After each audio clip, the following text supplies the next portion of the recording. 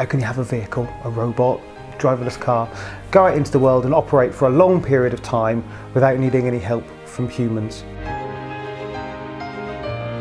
and wanted to build something quite substantive in terms of a research presence here in the UK. I took a sabbatical to write the grant, wrote it and won it and it changed everything after that.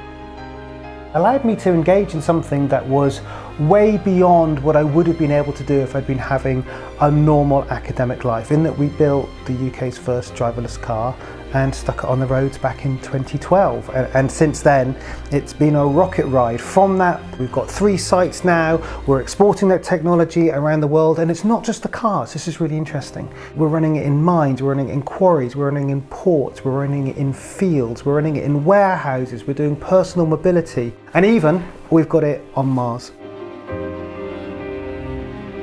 It's been a really extraordinary thing in the way that I went from the fundamental research and the time spent in doing that, starting a company, and then in the university have now started to grow the Oxford Robotics Institute. So that, that story, you know, continues from that foundational period.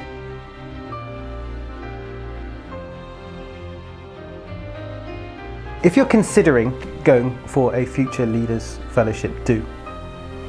Do it.